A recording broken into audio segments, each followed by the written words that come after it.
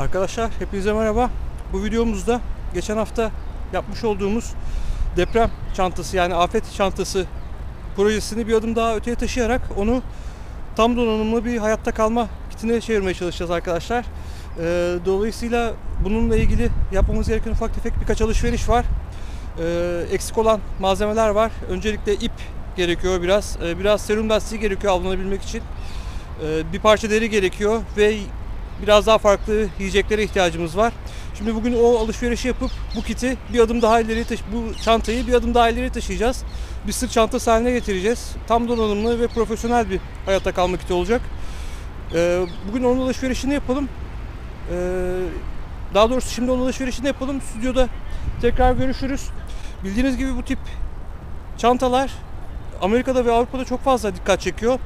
Genellikle hazırlık yapan insanların çoğu bu tip çantalarla bu işe başlıyorlar. Böyle bir çantayı yaptığınız zaman evinizin bir köşesine, motosikletinize, arabanıza e, saklayıp orada ihtiyacınız olduğu zaman kullanabilirsiniz. E, gelin isterseniz şimdi yavaş yavaş gidelim ve bakalım e, neler alabiliyoruz, aldıklarımıza neler yapacağız. Birazdan görüşürüz. Arkadaşlar şimdi ip almak için Nalbur'a geldik. Kaç milimetre abi o ipin kalınlığı? 3. 3 milimetre ip alacağız. Ee, 20 metre buna kesersen ondan ne kadar metresi? 30 kuruş yani 20 metre alacağım 6 lira yapıyor. Poşet atayım mı? Yok çanta yazacağım ben şimdi. Barımızın üstünü bekleyelim. Buradan şimdi şeye gidiyoruz. Bir eczaneye gitmemiz gerekiyor. Eczaneye gidip e, avlanabilmek için bir serum lastiği alacağız. E, ondan sonra almamız gereken ufak tefek birkaç bir şey daha var. Ondan sonra stüdyoya gideceğiz. Stüdyoda bakalım çantamız içinde neler varmış. Şimdi eczaneye geldik. Sapan yapabilmek için biraz serum lastiği aldım. Buradan şimdi deri bulmak için bir ayakkabıcıya gitmeye çalışıyorum. Ayakkabıcıda deri aldıktan sonra sapının taş tutacak yerine yapmaya çalışacağım. Ee, şimdi ayakkabıcıya doğru gidelim. Bir parça küçük deri alalım. Şimdi buradan parça deri parçası alacağım. Onu da serum lastiğine bağlayıp sapan yapmak için kullanacağım. Şimdi lastiği şeyi deri alalım. Oradan yavaş yavaş stüdyoya doğru geri döneceğiz. Arkadaşlar hayatta kalma çantamız burada. Bunu boşaltalım ve içinde neler varmış onları bir inceleyelim isterseniz. En dıştan başlıyorum açmaya. Gördüğünüz gibi burada 2 litre su var. Çantanın iki yan gözüne sığdırdığım. Yine en dışta karabinayla tutturulmuş metal çelik karabinayla tutturulmuş hayatta kalma düdüğü. Bir miktar ip pusula. Bunun incelemesini yapmıştık. Bunu sürekli kullanıyorum ben. Bunun linkini yukarıda görebilirsiniz. Aynı zamanda bunun içerisinde bir tane ateş başlatıcı kit var. Su geçirmez bir yapısı var bunun ve çok yüksek sesli bir düdüğü var. Başka bir çelik karabina. Daha önce bunun incelemesini yapmıştık arkadaşlar. Güzel bir kamp feneri, kamp lambası. Bunun da inceleme linkini üst köşeden görebilirsiniz. Bu çantanın dışında başka ne kaldı? Şurada bir tane parakort bileklik var. Ön gözü açalım.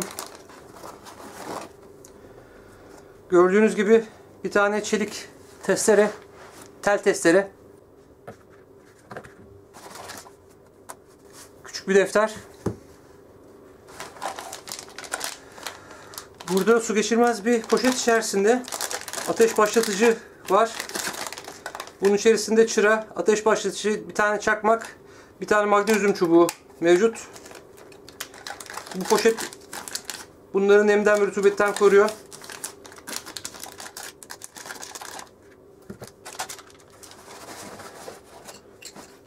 Bir tane mini pusula, manyetik pusula ve bir tane çok fonksiyonlu çakı.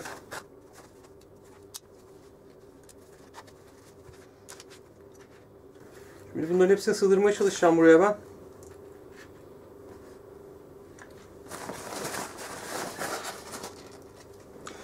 Ve bir miktar kablo bağcığı var burada. Bu kablo bağcıklarını birçok şey için kullanabiliyoruz.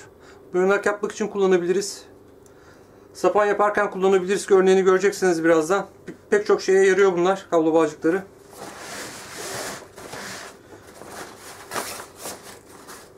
Ön göz de bitti.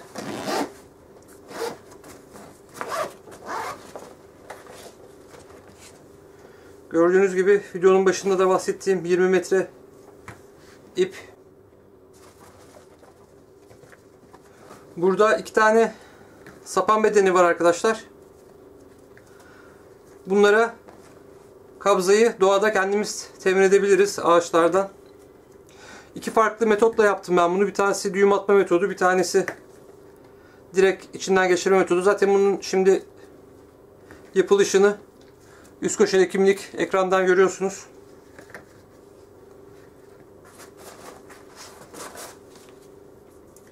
Güçlü bir av baltası, av e, bıçağı.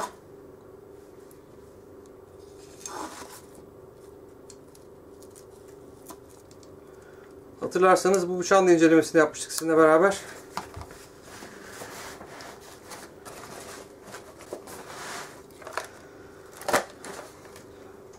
Burada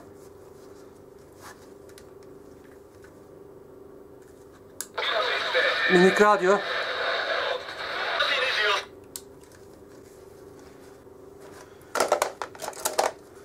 Burada çeşitli ekipmanları çalıştıracağım. Pil grupları var arkadaşlar. Çeşitli ekipmanlardan kastım radyo olsun, e, fener olsun vesaire. Burada harici bir batarya var. E, bu deprem setinde kullandığımız harici batarya bundan daha büyük, daha güçlü bir bataryaydı. Ancak ağırlık çok fazla artmaya başladığı için kapasite olarak onun yarısı kadar harici bir batarya almayı tercih ettim. Zaten burada da bir tane harici bataryamız var hatırlıyorsanız şu, bu fenerde. E, aşağı yukarı birbirini dengeliyor.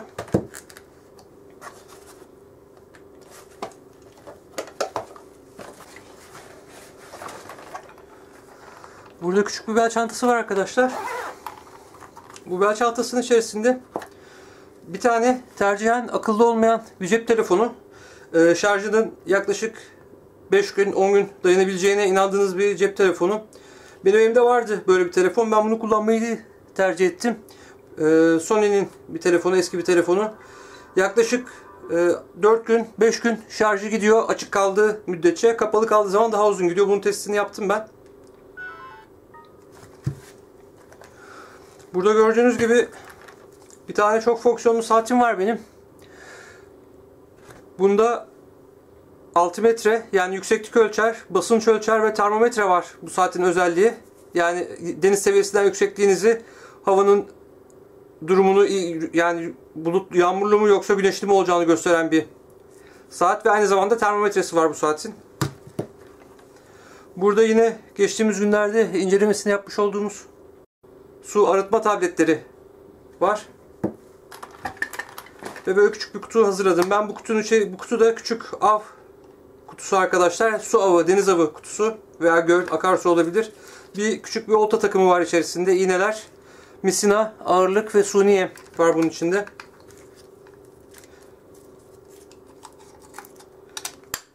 Dört tane kadar iğne, dört tane kadar ağırlık koydum ben bunun içerisine.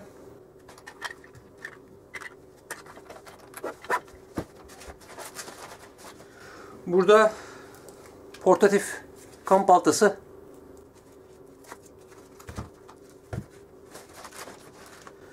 Termal kıyafetler.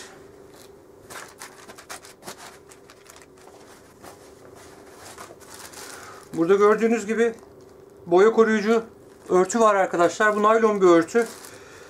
Ee, 4 tane 2,5 metrekare yani 10 metrekare naylon örtü var bunun içerisinde.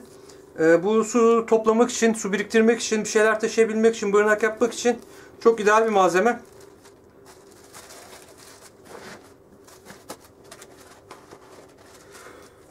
Burada gördüğünüz gibi tekrar cep sobaları. Bunları da su geçirmez poşetin içerisine koydum. Hava almaması için, rutubetten etkilenmemesi, kolay yıpranmaması için cep sobalarımız. Tabii ki bir tane daha fener. Ve son olarak bir tane ilk yardım seti. Şurayı şöyle biraz açalım. Burada ilk yardım setimiz var. İlk yardım Daha önceki yaptığım ilk yardım seti kutusu plastik olduğu için çok fazla eleştiri aldı arkadaşlar. Ben de bunu değiştirip daha ciddi bir ilk yardım kutusu yapmaya karar verdim. Bu Amerikan ordusunun bir ilk yardım seti. Su geçirmez, darbeye, toza dayanıklı aynı zamanda hava geçirmez bir yapısı var.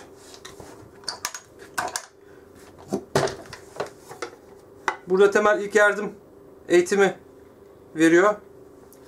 İçerisinde benim ilaçlarım, gerekli gördüğüm malzemeler var. Gazlı bezler, yara temizleyiciler vesaire. Bunun içeriği daha önce yaptığımız yukarıda linkini görüyorsunuz. Daha önce yaptığımız şeyle aynı. İlk yardım setiyle aynı. Sadece kutusunu değiştirdim.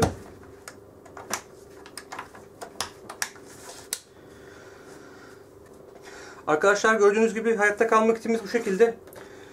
Daha önce yaptığımız kitlerden çok daha büyük, çok daha geniş kapsamlı bir kit oldu. Bir hayatta kalma durumunda böyle bir çanta işinize fazlasıyla yarayacaktır. Videonun başında da belirttiğim gibi bu çantayı isterseniz arabanıza koyarsınız, isterseniz evinizde taşırsınız, isterseniz büyük sırt çantanızın dışına asabilirsiniz. Bir hayatta kalma macerasında sizi uzunca bir süre hayatta tutmaya yetecek kadar malzeme var bunun içerisinde.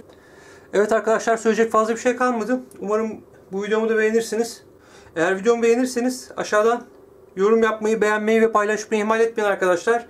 Videoyu beğenmezseniz de neden beğenmediğinizi açıklamalar kısmına yazarsanız beni çok mutlu edersiniz. Bir dahaki videoda tekrar görüşmek üzere.